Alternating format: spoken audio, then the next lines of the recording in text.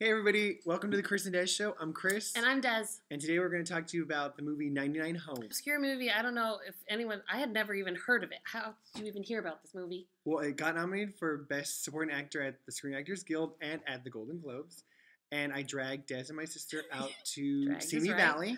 Yes. Uh, we drove an hour and a half to get to the movie. it was the only theater playing it, like in all of Southern California. But I'm so glad we did. I mean, actually, it, it was a really good movie. And of the three that we saw that day, that was my favorite. Yeah, absolutely. It's a good movie. and uh, it's about.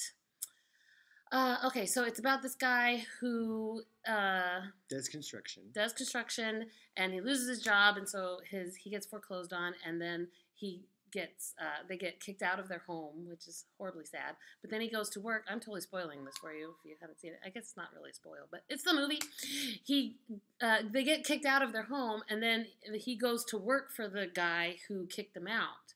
And so you see this whole process and how he changes perspective from being the victim to being the one who does the kicking out. It was really, it was very good. I thought it was really good. Maybe it made a, it went a little bit long for me, but otherwise it was really good. And the acting was Really amazing. It was uh, Spider Man. Andrew Garfield. yes, there you go. He was the guy, and he did he He's did great. so he was good. really good. He's a really good actor. I think he doesn't get enough credit for that. I Oh, mean, he was Spider Man. he did in The Social Network get a lot of talk about that because he's very good in The Social Network. But he is so good in this movie, and everyone's talking about Michael Shannon. Michael Shannon is a brilliant actor. Obviously. He was amazing. Um, he plays the not so nice guy, uh, He's but good at that.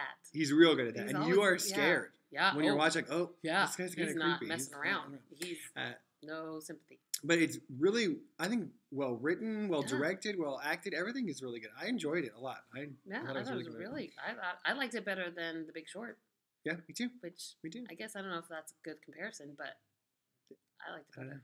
I don't know. Doesn't really go buy into the Big Short being a comedy. So No, her- I didn't. in her in her mind, That's there will be drama. I compare a drama to a drama. Uh, but yeah, if you get a chance, it's coming out on Apple, like to watch on iTunes. I think like February 9th or something like that. Okay. So uh, if you can't drive to Simi Valley to go see it, then you can. it can't still be there. I'm sure it's not still there. then you can uh, watch it on Apple when it comes out in February. It's a good movie, worth No, worth a watch for yeah, sure. it's, uh, Definitely. it's really good. Yeah. Okay. Okay, bye. Bye. This could take a minute.